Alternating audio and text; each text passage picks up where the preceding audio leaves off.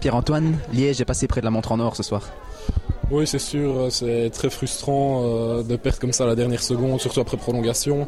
Surtout qu'on a mérité la victoire. Maintenant, euh, euh, c'est dur. Maintenant, on sait qu'on a prouvé certaines choses et bon, il nous reste encore sept matchs. Maintenant, c'est sûr que mathématiquement, c'est certain, les playoffs, c'est fini pour nous. Mais on va pas s'arrêter là non plus, quoi. Donc, on, va continuer à jouer et à progresser. Quoi. À nouveau une défense en zone durant tout le match?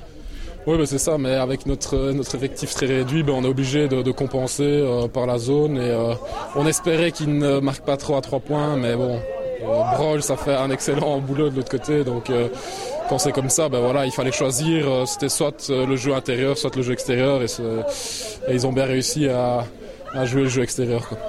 Peux-tu nous décrire la fin du match?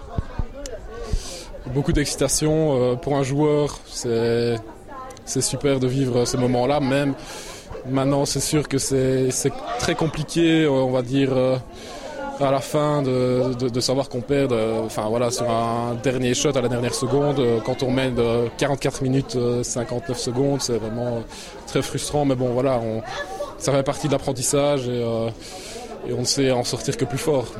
Merci Pierre-Antoine.